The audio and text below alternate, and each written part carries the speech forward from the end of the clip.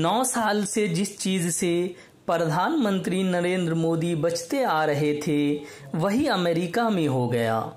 यानी कि press conference. खुदा खैर करे। और वो भी उसमें ये नहीं पूछा गया कि आप आम काट कर खाते हैं या चूस कर अठारह अठारह घंटे काम करने के बाद भी इतने चुस्त दुरुस्त कैसे रहते हैं? वहाँ तो सवाल किए गए और तीखे। ये कि आपके दौरे हुकूमत में माइनॉरिटी राइट्स का वायोलेशन हो रहा है। मुसलमानों पर ज़ोर जुल्म हो रहा है। ह्यूमन राइट्स का वायोलेशन हो रहा है। ऐसे सवाल जिसका पीएम मोदी ने सपनों में भी नहीं सोचा होगा। और ये रह रहकर उनको सपने में डराता भी रहेगा।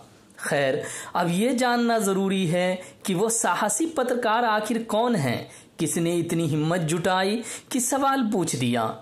क्योंकि भारत में पत्रकारों को तो तलबे चाटने से फुर्सत नहीं है, भला वे सवाल क्या करेंगे? खैर, आइए आज आपको उस महान पत्रकार से मिलवाते हैं। उनका नाम है सबरीना सिद्दीकी।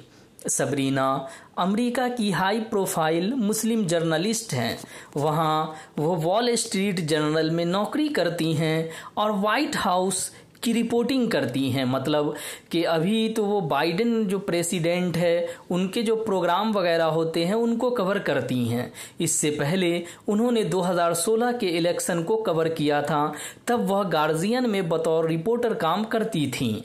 उन्होंने नॉर्थ वेस्टर्न यूनिवर्सिटी से ग्रेजुएशन किया है और वॉशिंगटन में अपने पति के साथ रहती हैं। उनके पिता का जन्म भारत में हुआ था, लेकिन परवरिश पाकिस्तान में।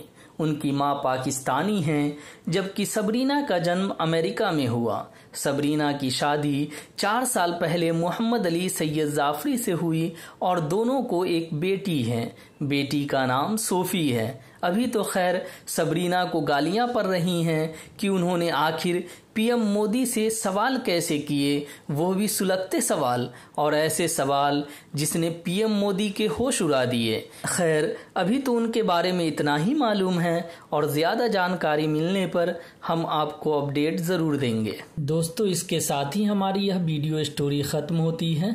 यह स्टोरी आपको कैसी लगी, हमें कमेंट करके ज़रूर बताएँ। वीडियो पसंद आया हो तो लाइक और शेयर करना ना भूलें। अगर हमारे चैनल पर नए हो तो इसे सब्सक्राइब कर लें और बेल के आइकन को भी दबा दें ताकि हमारे नए वीडियो का अपडेट आपको मिलता रहे। फिर मिलते हैं नए वीडियो के साथ। तब तक के लिए खुदा हाफिज़।